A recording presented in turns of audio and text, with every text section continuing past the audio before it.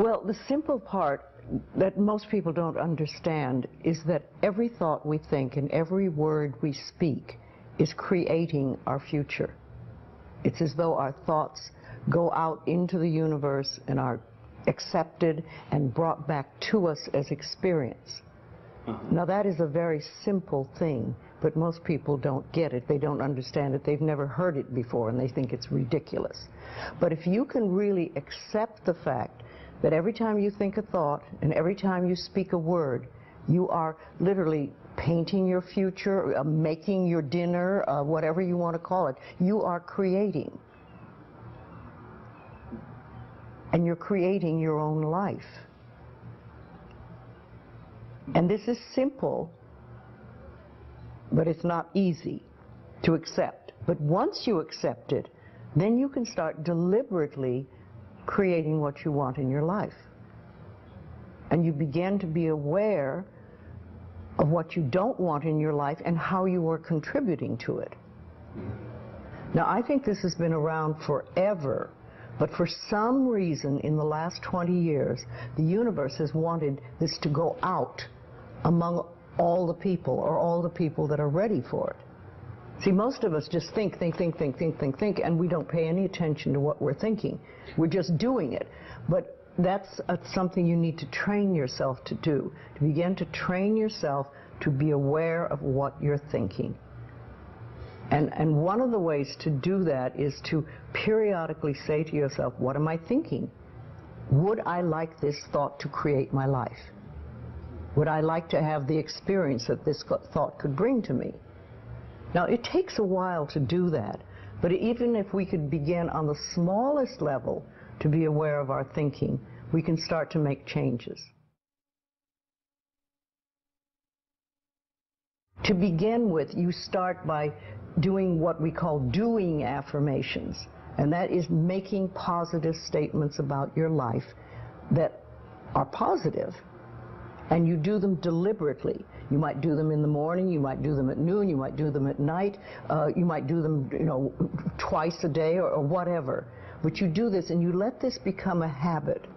And as you start to do them, things will begin to change, maybe on a very small level. I call it getting the green lights in the parking places. I mean, they're not huge things in your life, but it can be very nice when you get three green lights in a row and, you're in a hurry. yeah, yeah. Doing an affirmation is either writing it down, writing it on the wall or the mirror, or using a, a, a you know, just saying it. What I like people to do is to stand in front of a mirror and do their affirmations. Because there's something very powerful about looking in your own eyes and getting and accepting yourself or noticing that you reject yourself when you're saying something positive about yourself. So that would be a very beginning way to start. Say in the morning, you get up in the morning, you go to the mirror, and this is a big one, and it's hard for lots of people. But you look in the mirror and I say and say, I love you. I really, really love you. And to begin with, that can be so hard for people because they think of all the things that they think are wrong with them. But if you can start your day saying that, it's very powerful. Remember, I'd like to think the universe is listening to everything you say and everything you think and saying, okay, you can get that. So then it starts to bring you in and bring things into you. And I know this sounds far-fetched, but it's amazing how it works you, if you do a good general positive statement for yourself, the universe will figure out how to manifest that, how to bring that about in your life.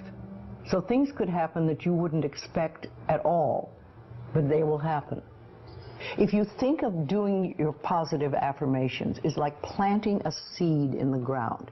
It's not necessarily true at the moment, but it is something you want to have be true. So you put the seed in, and you, you, you plant a seed and you expect it to grow. Or you maybe plant three seeds just in case. You, you expect them to grow. And you don't wait two days and then dig in the earth and say, what's happening, what's happening. You expect that thing to grow because you know there's a law and a process. And the seed will grow if it is in the right soil and it has the right amount of moisture. Making it really a habit and doing it every day. Uh, doing something every morning when you wake up, that's a really good time. And another good time is when you go to sleep at night. And, and gratitude works a lot. Uh, if just being grateful for everything. The more, I always say the universe loves gratitude. The more you're grateful for what the good is in your life, the more good you get to be grateful about. And it's, it's like, you know, if somebody gives you a present and you're, or gives me a present and I say, oh my God, I hate that color and it doesn't fit and, you know, that person will never give me another present. Mm-hmm. but if you say, oh, it's wonderful and thank you, I really adore it, it's great, that person is probably going to want to buy you a present every time they see something they think you would like. And it's like that with the universe. The universe loves gratitude. When I was beginning to work with people in the early days, I paid very close attention to what people said.